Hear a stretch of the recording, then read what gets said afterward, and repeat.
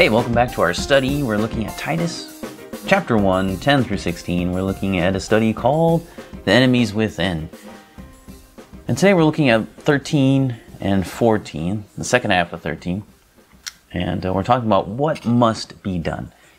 Now, we looked at last time who these people are in the church that are trying to get in the church, that are insubordinate, they're empty talkers, they're deceivers um, Paul quotes from Epimenides about how the Cretans were specifically liars and lazy gluttons and wild beasts.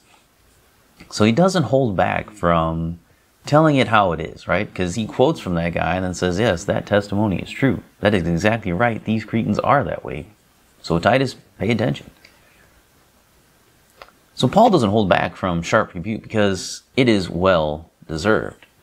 Those that are bent on destroying others must be severely dealt with. The shepherd does not gently ask the wolf to stop biting his sheep. You know, he doesn't, oh, look at that little wolf. Hey, Mr. Wolf, please, please, can you, do you mind not doing that? No, he rushes at it, yelling with his rod in his hand and the sling at the ready. And this Paul follows the example of Christ. He would sit and eat with those that needed to be instructed and helped to turn from sin. With others, he called them baby snakes and said that they were devil worshippers and whitewashed tombs. He not snuff out a smoldering wick, but also flipped over the money changers, flipped over their tables, and chased them down with whips. Both reactions are necessary depending on the state of the person it's directed.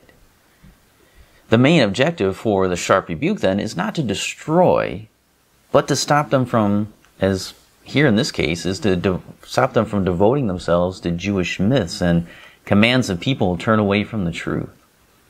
So the goal of the sharp rebuke is the health of the person's faith. Some might say, well, you know, you, you shouldn't rebuke people because that's mean. Paul would say, no, the opposite is true. To not sharply rebuke in this, t- in this situation, Titus would be the one that was evil. He would not only be supporting the false teacher's headlong run into hell, but would allow them to try and drag along as many uh, other people as they could. And that would thereby increase their guilt before God. So Titus refraining from rebuking would show that he has no regard for the false teacher, nor the congregation either. So he has to do this. He has to rebuke them. He cannot allow these false teachers to keep doing that, not just for those whom they might destroy through their false teaching, but for the false teachers themselves. They need to hear the fact that what you're saying is wrong. And what you're saying and the route you're heading down looks like you're heading for hell. And so you need to stop. You know, listen. Look at what you're doing. Pay attention to what's going on. And so Titus has to do this. And that carries over to today too. We have to rebuke false teachers. We have to rebuke false teaching.